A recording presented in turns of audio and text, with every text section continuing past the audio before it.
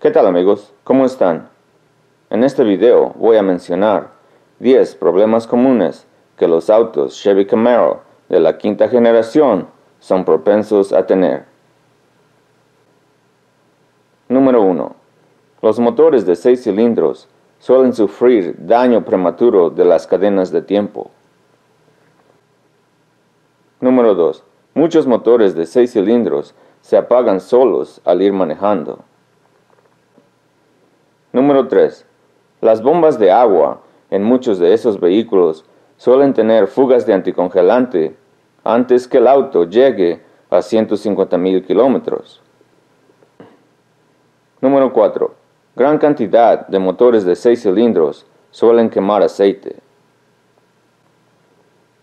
Número 5. La pantalla del estéreo suele apagarse y volverse a prender sola. Número 6.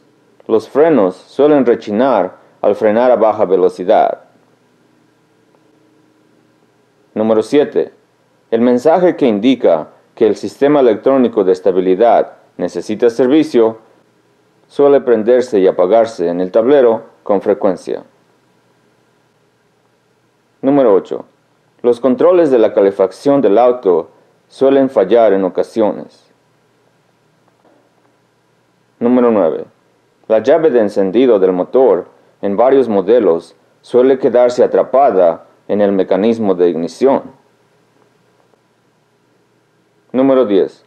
Los motores de 6 cilindros en gran cantidad de estos autos necesitan ser reemplazados a bajo kilometraje. Ahí lo tienen amigos. Esos son 10 problemas comunes que los autos Chevy Camaro de la quinta generación son propensos a tener.